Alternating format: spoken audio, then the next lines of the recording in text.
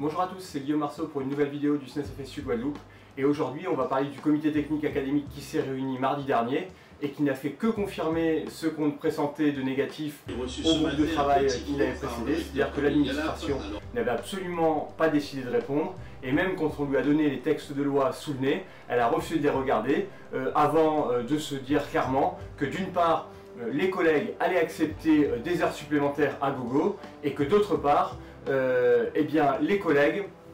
allaient accepter toutes les DGH dans les établissements parce que de toute façon, le ministère avait supprimé 44 postes et qu'il allait bien falloir faire avec. Donc on a bien eu la confirmation euh, par M. Dupuis et puis le recteur a soutenu euh, M. Dupuis, le chef de la division des moyens,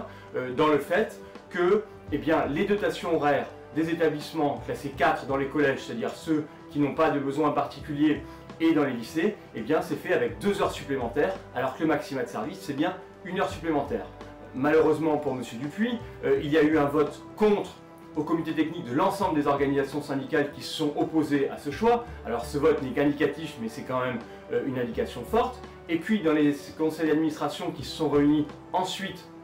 dans les établissements scolaires durant la semaine, eh bien on a pu s'apercevoir qu'environ une dizaine d'établissements avaient déjà voté contre les dotations horaires qui étaient proposées par le rectorat, et donc euh, ça signifie aujourd'hui que le rectorat va devoir revoir sa copie, et donc va devoir abonder en leur poste un certain nombre d'établissements euh, qui sont absolument sous-dotés. L'autre élément dramatique de ce comité technique académique, c'est qu'on s'est aperçu qu'avec le classement actuel, eh euh, l'éducation prioritaire est une véritable peau de chagrin, avec seulement trois établissements classés RED+, et puis on a tout ce magma euh, des établissements qui ne sont pas classés du tout, euh, où on retrouve des établissements totalement différents et avec des besoins et des populations différentes. Quand on prend le collège de Nouville au collège Sainte-Anne ou le collège de Gourdeliane à Bémao, ce sont des établissements qui sont incomparables. Euh, quand on considère aussi que le collège euh, Bambuc au Gosier fait partie de cette catégorie-là, eh bien on voit bien qu'on a des gros établissements de centre-ville, qu'on a des établissements euh, ruraux isolés, qu'on a des établissements plus favorisés. Eh bien dans ce cadre-là, tout, est, tout est mis à la même sauce par le rectorat, et donc on voit bien que la classification actuelle devrait être totalement revue, ce qui justifie pleinement euh, ce que dit le SNES depuis longtemps avec la FSU, c'est-à-dire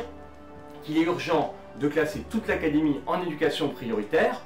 et euh, dans l'immédiat, puisque le comité technique maintenant s'est tenu, eh bien de lutter établissement par établissement dans les conseils d'administration pour refuser ces dotations horaires qui sont des véritables pots de chagrin, qui sont une insulte au service des enseignants et au décret statutaire des enseignants, pour bien montrer au rectorat qu'aujourd'hui, eh bien, il y a besoin de moyens dans les établissements pour faire réussir tous les élèves.